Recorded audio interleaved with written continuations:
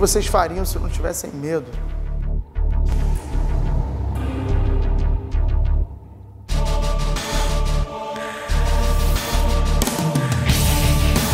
Eu alcanço resultados diferentes com atitudes diferentes.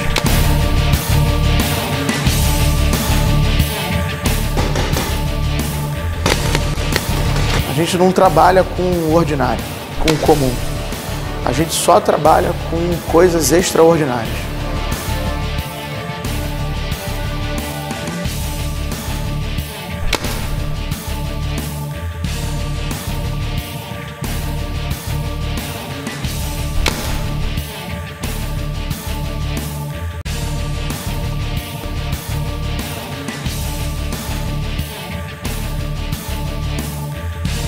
Garra.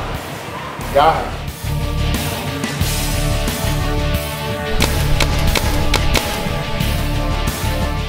Quero que vocês se comuniquem. Vocês têm que falar um com o outro.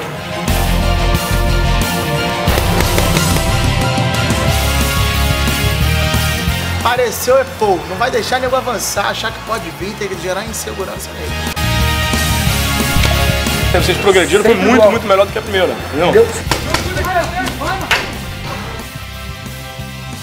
No final, eu já estava sem medo, completamente confiante. Aqui eu acho que a gente sai um time mais do que uma equipe.